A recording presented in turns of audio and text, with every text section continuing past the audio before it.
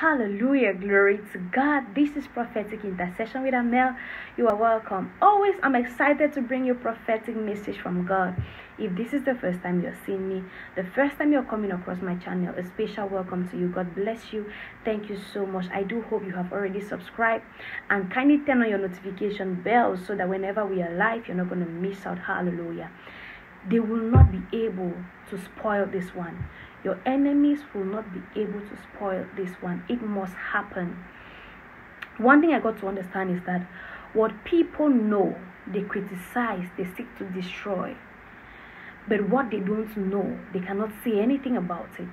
What people know, they criticize, they try to destroy it, but what they don't know, they cannot say anything about it. So, what am I saying in essence? There is something, someone, there is something you are working in the pipeline. There is something you've been working on in the pipeline and it's about to materialize. What you have to do right now is keep it to yourself. Let the best weapon to use against your enemies is to keep them in the dark about the happenings of your life. Let your success take them by surprise. Don't be the one to blow your own alarm. Don't be the one to blow what God wants to do in your life. Just walk in the silence, walk in the dark. When it happens, let it take them by surprise. They will not be able to stop what they don't know. But if you go ahead and you start talking to people about it, you start saying what God is doing or what you what is about to happen in your life, you are giving the devil access to come and destroy what God is about to do.